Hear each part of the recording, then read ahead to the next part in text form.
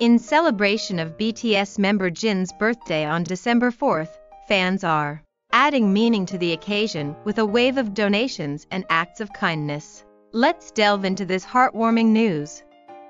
Jin's Korean fan base with Seokjin at with Seokjin 1204 and global fan base All for Jin at Jinislamp joined forces for his birthday, donating 5 million KRW to Gilstory at team underscore Gilstory, a project that improves and repairs fall risk factors for 50 elderly households in medically underserved areas. Jin's fan base in Mexico at Jin Projects announced that Mexican Army's fan community collectively gathered over 11 tons of plastic caps, contributing to wigs for cancer patients and essentials for their families. The U.S. fan base at JINUSASUPPRTGP celebrated Jin's birthday with a Times Square advertisement and birthday cafe support. Alongside these, they provided 500 meals to American children in need through No Kid Hungry at No Kid Hungry an organization that offers nutritious food, essential for children's growth in local communities.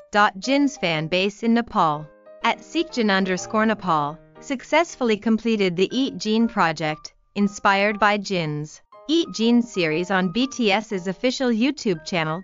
Jin's fans in Kathmandu's Basantapur distributed boxes of food containing biscuits, fruits, and chocolates to the homeless sharing Jin's positive influence and celebrating his birthday. The wave of donations and volunteering continues. Au.s.